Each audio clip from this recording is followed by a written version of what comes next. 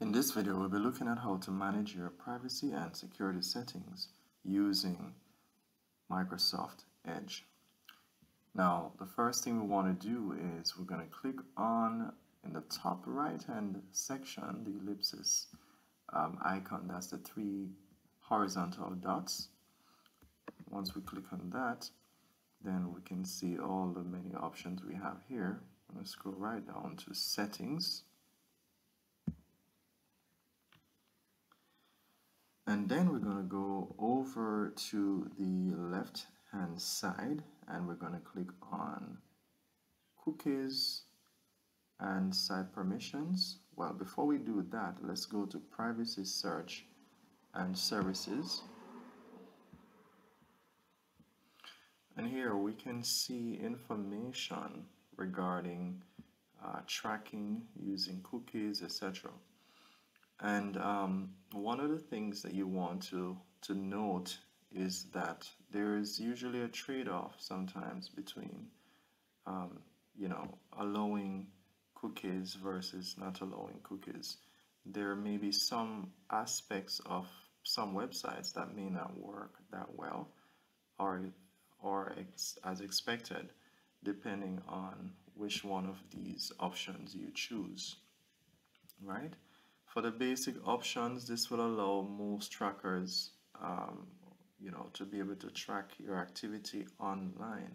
What these companies do is they use um, clickstream analysis and cookies to be able to store information about your preferences, um, you know, what you clicked on, and be able to make uh, different recommendations in terms of ads, so on to you. So um, the balanced approach is what is recommended and uh, that's the one I'm using as well so you can make an informed decision as to you know what uh, options or settings you want to to choose based on your preferences alright um, in another video I'll share with you about browsing in private but for my setting I'll, I'll leave this on so it says always use strict tracking prevention when browsing in private. So we'll look at that in my next video. Another option you do have as well is to clear your browsing data on demand as well as whether you want your browser to clear uh, the data once it has browsing data once it has been closed. So for the first option, choose what to clear. You can see here, it gives you the option in terms of what do you want to clear information based on your um, last hour or 24 hours, different periods of time. And, um, you know, by default, mine is on all time. You can clear all of these information, including passwords, um, different you know forms or information that you would have filled out on various sites that you sign up for different services you can clear all of that right by just clicking on clear now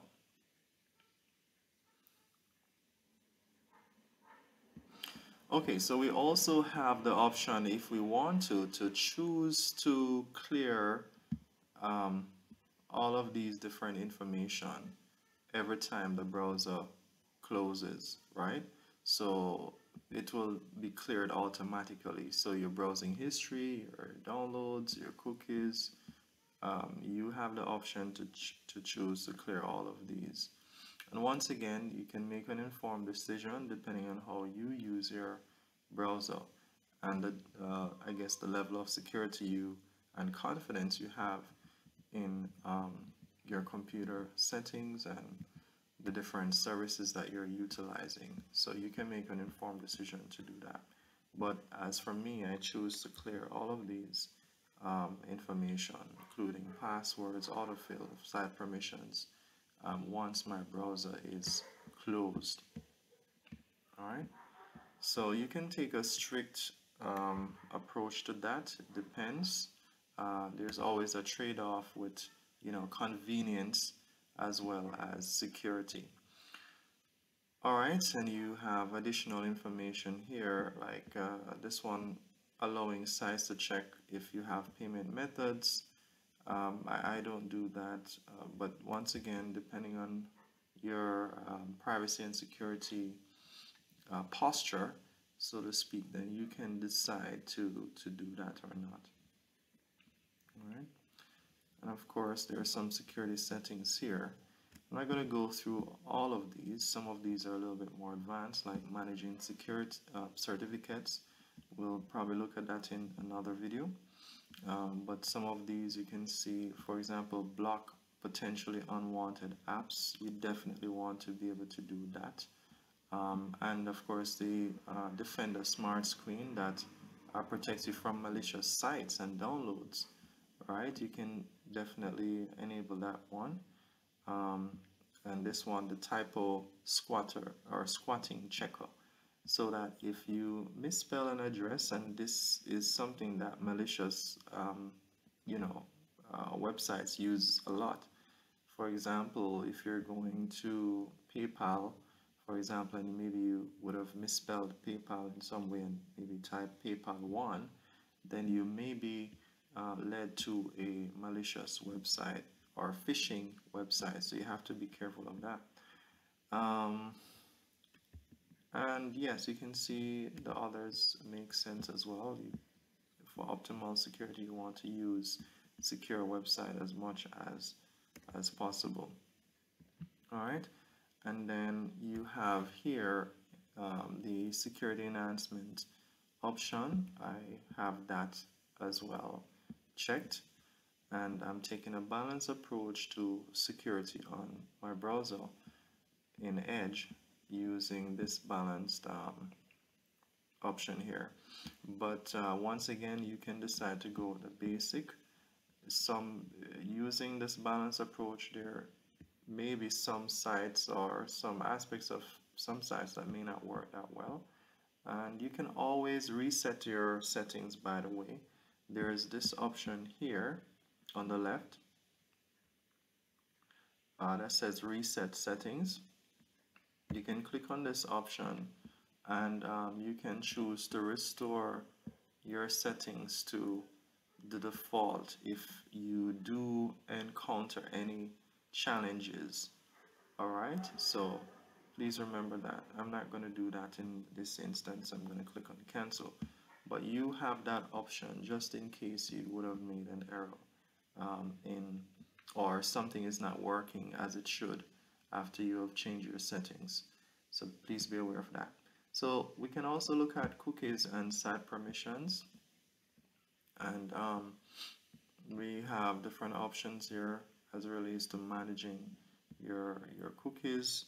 And cookies are small um, pieces of information that is stored on your computer that allows um, allows companies to be able to save different information on you like your preferences your habits what you you know you click on what you like what you dislike. If you go to for example e-commerce website all right so you have the option to manage information here. So I've chosen to block third-party cookies. Um, well you can do that too. And um, you can allow certain sites to save and read cookies, which is the recommended because for some sites, the features may not, I mean, these are, legitimate sites.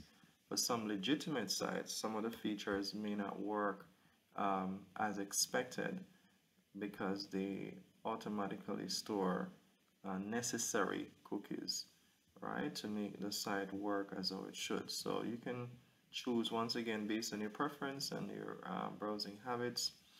But um, you also have options for exceptions. So if you choose a very strict approach then you can decide to add um, here exceptions where you have allow right? You can add exceptions. So you just copy the site here and you'll add them using this add option here.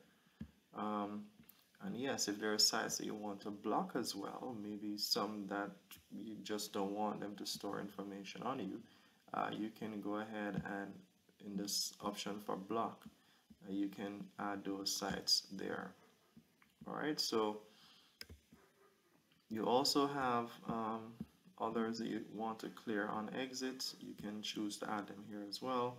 So you have a number of options you can choose from in terms of how to manage uh, cookies and different sites that want to store data about you.